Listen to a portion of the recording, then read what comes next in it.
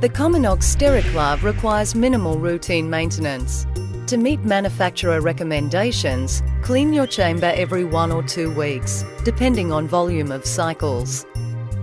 Clean your wastewater filter every month.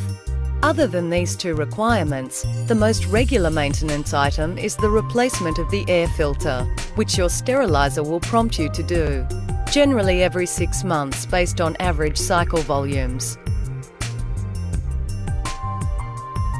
To perform a chamber clean, you will need to locate the 3mm Allen key supplied by Cominox. This is the same one you used when levelling your Sterilclave. At the front of the chamber, there is a small screw that can be removed by placing the Allen key onto it and turning it in an anti-clockwise direction. There is also a small silicon dam located in the front of the chamber. Please ensure that you retain this part. The tray support and coil cover will now simply slide out. Taking a lint-free cloth dampened with distilled water and with the internal chamber components removed, simply wipe down all surfaces within the chamber, including the door and door seal. Please do not use anything other than distilled water and a lint-free cloth in your steriliser, particularly during maintenance. It is important that you do not use tap water as the minerals within tap water will coat the surface of your solid stainless steel chamber and reduce its life and efficiency. You should never require any form of additional chemical or alcohol to clean your chamber. Anything that does come into contact with your chamber should be able to be removed using a bit of elbow grease.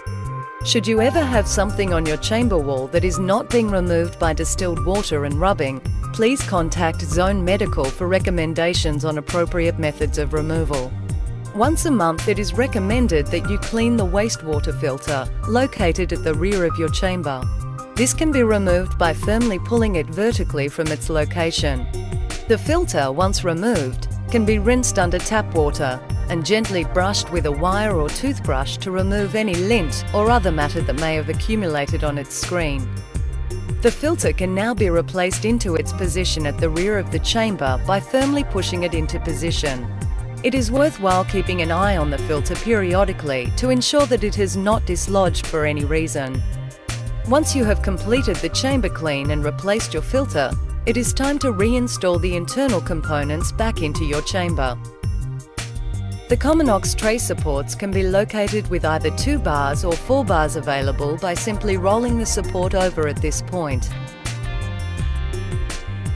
The tray support has a brace bar across one end.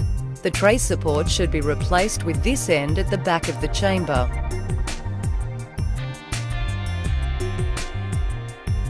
The coiling cover can now slide in underneath the support. The silicon dam is then placed on the edge of the coil cover that would otherwise come into contact with the chamber. The front chamber screw can now be replaced using the Allen key provided. Do not over tighten, it just needs to be firm. Your trays can now be put back into the steriliser. That's all there is to maintaining your Cominox steriliser.